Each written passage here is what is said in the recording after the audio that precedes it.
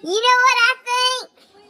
I think that I saw somewhere that somebody that I know who lives right up the road from me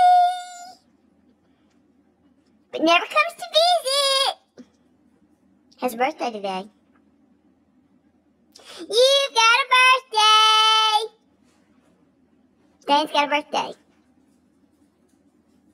So, what Rudy and I are going to do is we're going to sing happy birthday.